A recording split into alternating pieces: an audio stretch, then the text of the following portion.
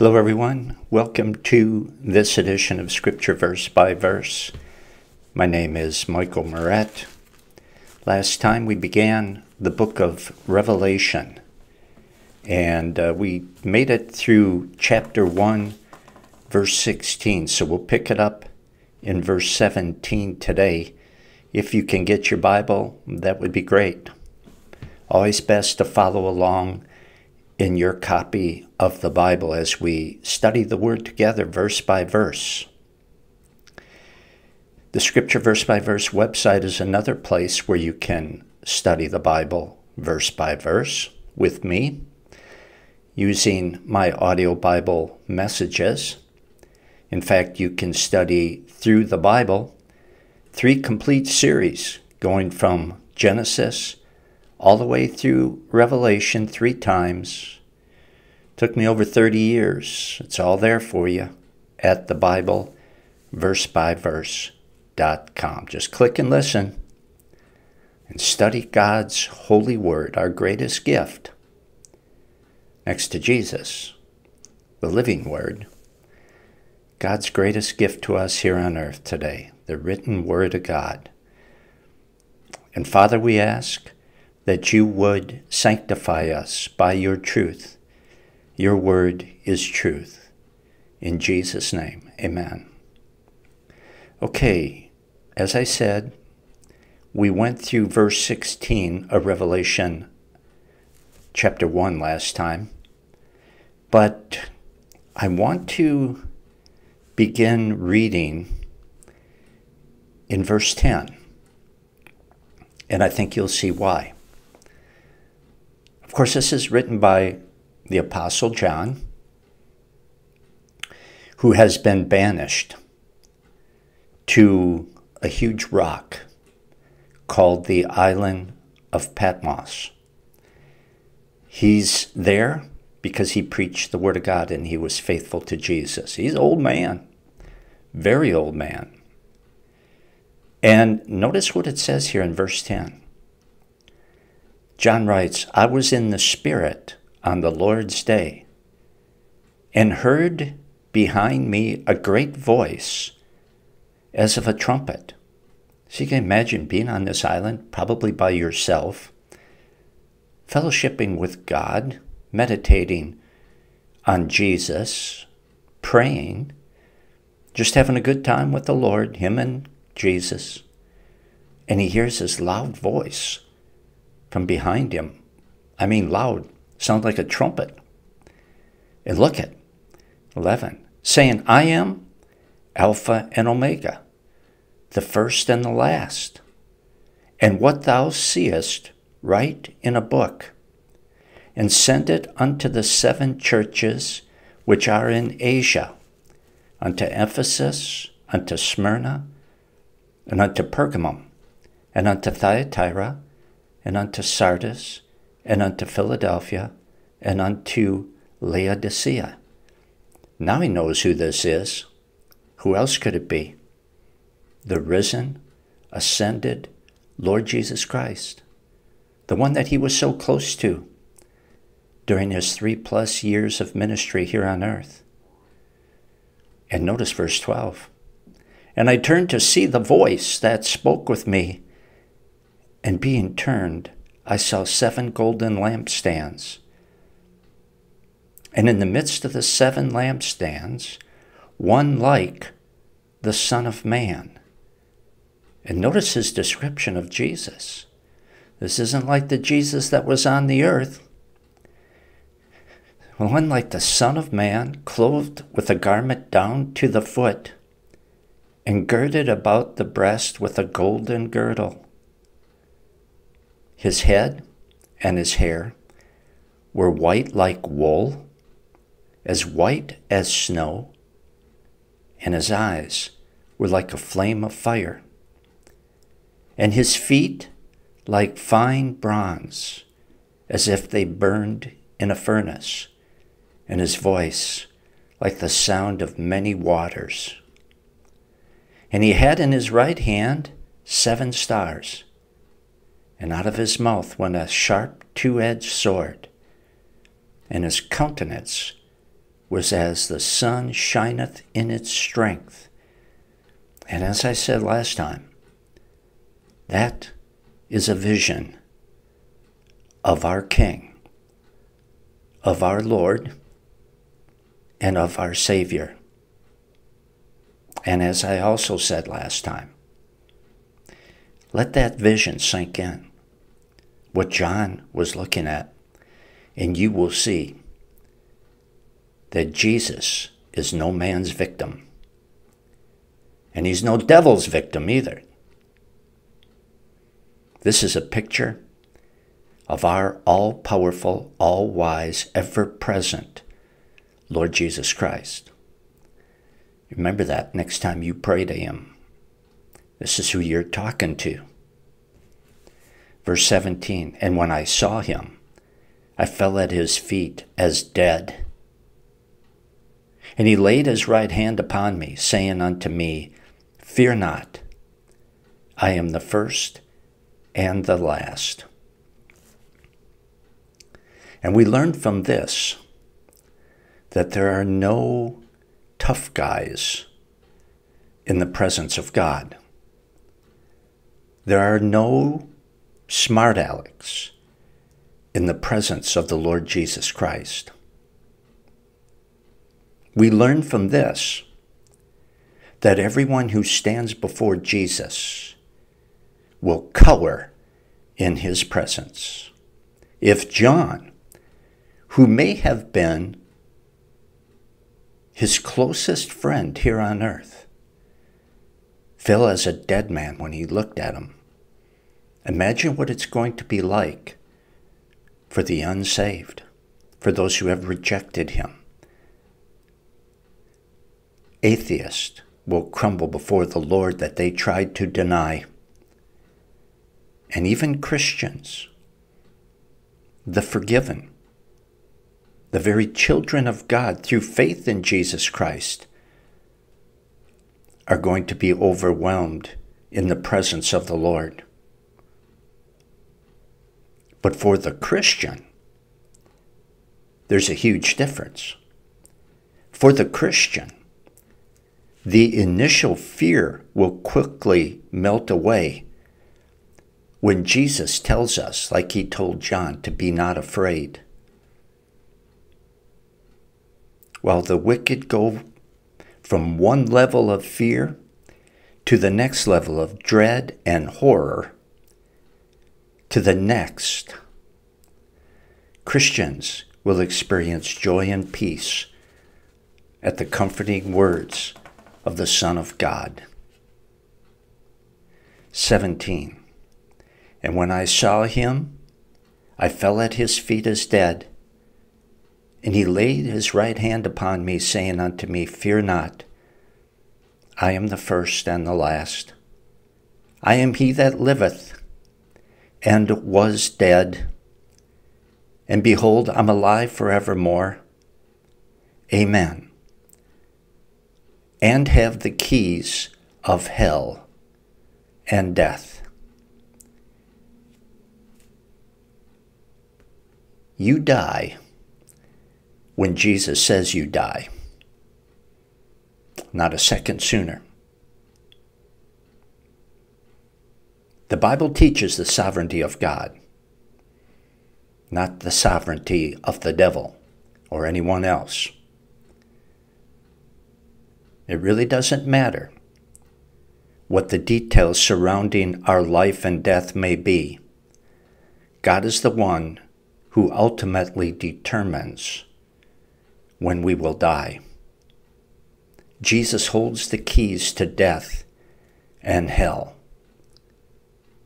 Verse 19 Write the things which thou hast seen, and the things which are, and the things which shall be hereafter.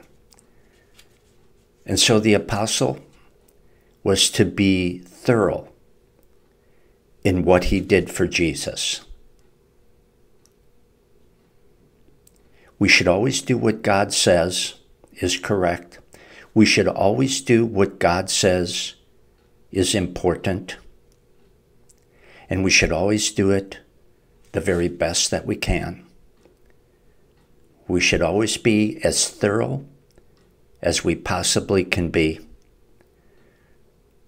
That is what our Lord expects. That is what our Lord deserves. Verse 20 The mystery of the seven stars which thou sawest in my right hand, and the seven golden lampstands. The seven stars are the seven angels of the seven churches, and the seven lampstands which thou sawest are the seven churches. In other words, Jesus is in the midst of his churches. He was in this vision, and that's the point. Jesus is in the midst of his churches. And Jesus has his ministers, his messengers, referred to as angels because that's what the word means messengers in his hand. Sometimes I ask, sometimes, sometimes I ask, You have me in your hand, Lord? Even me? It's kind of mind boggling to think about it. You know, I teach the Word of God, I'm His messenger. You even have me in your hand, Lord? sometimes I think, well, there should be more visible results. And yet I cannot deny the holy word of God. So I continue to believe that God has me where He wants me to be, doing what He wants me to do. And I am fortunate because I know why I am on earth. There's a lot of people, I suppose, who, even Christians, who wonder what God's will is for me. I, I don't, or for them, you know. I, I don't have to wonder. I know. I know. It's God's will for me to teach His Word. And as long as I'm doing that, I know He is in the midst. I know He's with me, and He's with all of us who know Him. But I know what He wants me to do.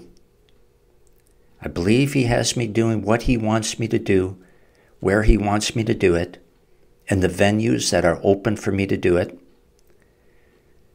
He's in control of everything. He's in control of everything in your life, too, if you're a Christian. Jesus is with us, working in our lives. Let's go into chapter 2. Actually, let's read verse, um, yeah, let's go into verse 1 of chapter 2. Unto the angel of the church of Ephesus write, These things saith he that holdeth the seven stars in his right hand, who walketh in the midst of the seven golden lampstands. So these words are from Jesus, initially addressed to the pastor in the church of Ephesus, the leader. And notice what it says. These are the words of him. These are the words of him. John doesn't write, These are my words. He writes, These are the words of him. The minister, the Bible teacher, the pastor, is not to give his opinions or to read into the Word of God something that is not there or teach something other than the Word of God. If you are a minister, then you must give the words of Him and make the words of Him clear and teach the words of Him. Not your own opinions, not that which will draw attention to you, God forbid. The minister was and is to communicate the Word of God to people. These are the words of Jesus. Look at them in verse 2. Jesus says, I know thy works and thy labor and thy patience, and how thou canst not bear them who are evil. And thou hast tried them who say they are apostles and are not, and hast found them liars. So there were people trying to influence the church in Ephesus, calling themselves apostles. Jesus says, You've looked at them. You know the criteria. You know they don't measure up. You know they're liars. And you don't you don't allow them. And you don't show them any respect. And you don't tolerate them. And I've said it before. There are no apostles today. I know there are people who call themselves apostles. There, some in the Word of Faith movement even say that there are apostles today that are, are more significant than the 12. Totally false. There isn't a person alive today who meets the biblical criteria of an apostle laid out in Scripture. Of course, if you're running around saying, God showed me, I had a vision, God spoke to me, I had a dream, and that's your criteria, then that's not a problem. But it will be a problem on Judgment Day. False apostles leading people astray. They've been here since day one. I know thy works, and thy labor, and thy patience, and how thou canst not bear them who are evil and thou hast tried them, who say they are apostles and are not, and hast found them liars. Jesus knows all the good things that we do. He is aware of the times that we do what is good, even when it is not easy. He knows when we keep on doing good, even though it would be much easier to quit. He knows about the times that we've done what is right, even though it made us unpopular. He is aware of all these things, and the Bible says that our labor in the Lord is not in vain. Verse 3 And hast borne and hast patience, and for my name's sake has labored and has not fainted. So they didn't get bored with doing what was right and quit. They didn't stop doing right when they found out that some people did not like it. They didn't compromise holiness even when it was hard work. And they were tired, and it would have been much easier just to satisfy their flesh by committing sin. They didn't do that. They persevered. They did a lot of good things. Jesus opens his letter to them with some wonderful commendations. I'd be thrilled to have Jesus say any of these things about me. But the letter isn't over. Notice verse 4. Nevertheless, I have somewhat against thee, because thou hast left thy first love. And so we learn from this that Jesus not only knows what we are doing and appreciates the fact that we are doing what is correct, but he also knows why we're doing it. And if our motive isn't a deep love for Jesus, that's not good. That's not right. Jesus knows that too. And what Christ is pointing out to these people is maybe something that they were not aware of because it can happen very subtly. They didn't feel about Jesus the way they used to. He knew that. Love and appreciation for Jesus makes serving Christ natural. And that's the way Jesus wants it to be. He does not want our obedience and our holiness and our service to Him to be reduced to a list of religious guidelines.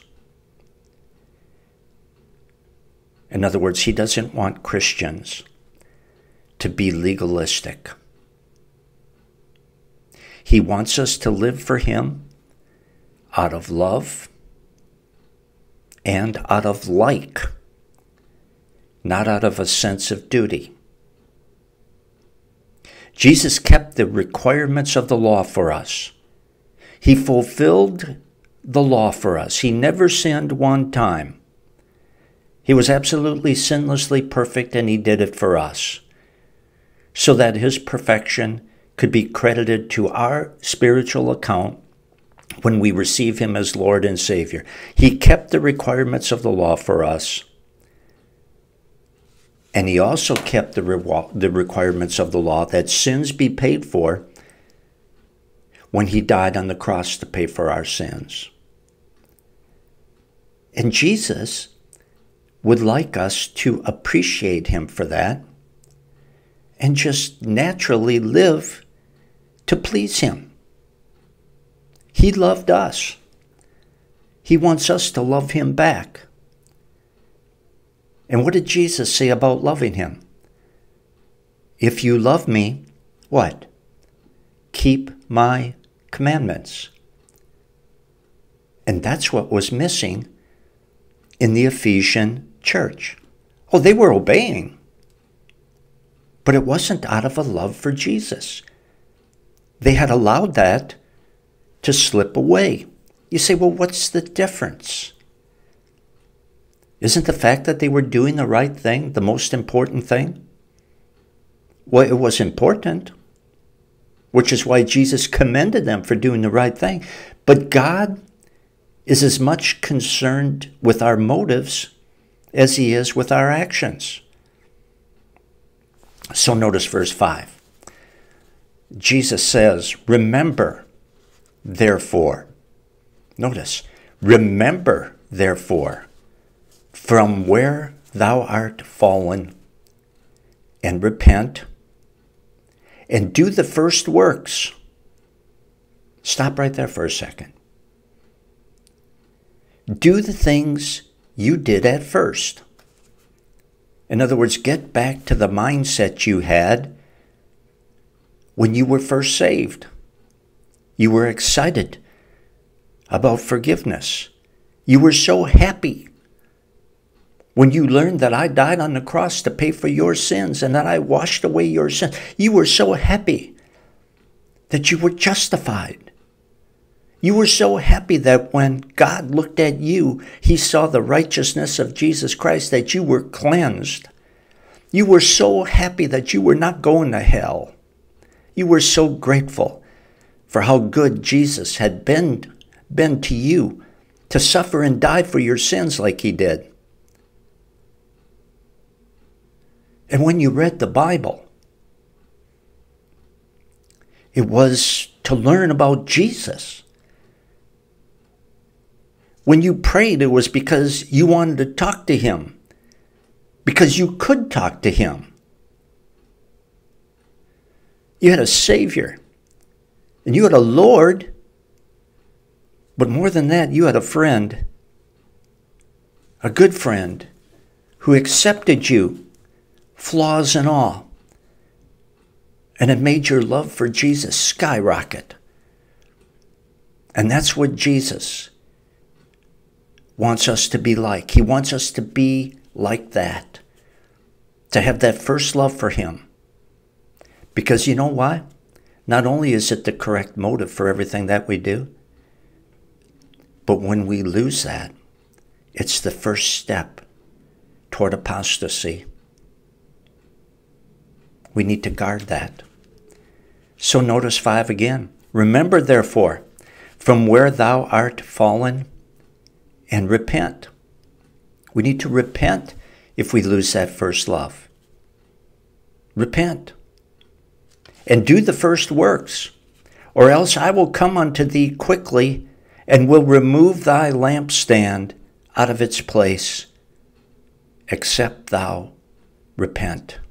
In other words, your spiritual light is going to be put out.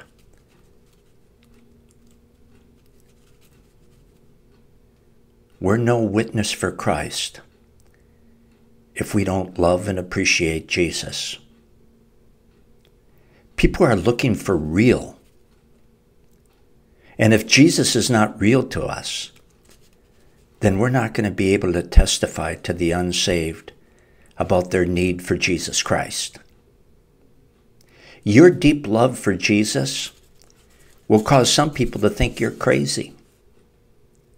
You're a religious nut. You're a fanatic. They don't understand. Forget it. Just leave them be. They will believe what they want to believe. But if somebody is open for truth, it's not compromising with the world that will draw them to Christ. It's not being like the world and being cool in the eyes of the world that'll make them interested in Jesus. That's a modern day evangelical belief, and it's totally wrong. And yes, they can get a lot of people to their worldly churches and their worldly rock groups and all their other kind of worldly stuff. Yeah, they can draw people. It's all flesh. It has nothing to do with Jesus. Nothing. Nothing. I don't care what they say. It has nothing to do with Jesus. It is your deep, deep love for Jesus and your holiness that the Holy Spirit uses to witness for Christ to bring conviction of sin upon the unsaved, along with the preaching of God's word against sin, and preaching about hell too, by the way. You better believe it. Loving Jesus and the truth of God's word is the key to being used by Jesus. But our love for Jesus is what gives our witness light and power.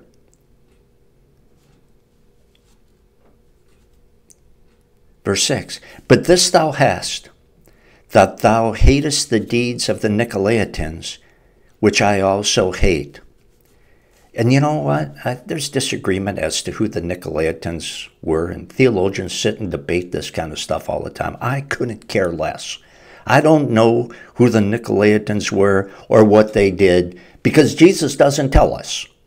And if he doesn't tell us, guess what? I don't care. Why talk about it? Why think about it? Why discuss about it? Why argue about it? Let's stick to the Word of God, okay? I don't care who they were. I don't care what they did. It doesn't matter. The important thing is that the Ephesians hated what Jesus hated. That's the important thing. God is happy when you hate the unscriptural trash that is passed off in some places as a sermon. God is happy when you hate the spiritual entertainment that is passed off in some places as a sermon or as worship music. God is happy when you hate that kind of rot. God is happy when you hate what is wrong in the world. And He is happy when you hate sin and have the guts to say it isn't right. Hate what Jesus hates phoniness in the church, entertainment that replaces sermons, entertainment, fleshly lust and fleshly fleshly satisfaction that replaces true worship. Hate it and you'll be okay. Hate what Jesus hates. 7. He that hath an ear, let him hear what the Spirit saith unto the churches. To him that overcometh will I give to eat of the tree of life, which is in the midst of the garden. In other words, if you overcome, you'll enjoy forever. Faith in Jesus Christ gives us eternal life. Persevering in that faith to the very end proves that that faith is genuine. We have to persevere to the end to be saved. And I'm out of time. Continue studying with me in the same manner at the thebibleversebyverse.com. And if you want to be a part of this ministry, be sure to pray for me, would you? And also click the donate button at the top of the front page at thebibleversebyverse.com and prayerfully give as the Lord may lead. That's at thebibleversebyverse.com. Join me again next time. We'll pick it up in verse 8. Until then, so long, everyone.